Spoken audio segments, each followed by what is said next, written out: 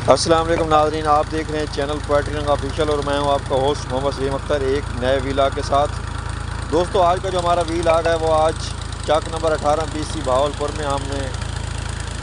चक 18 में जो है सर्वे करना था, उसी सिलसिले में गया तो वहाँ पे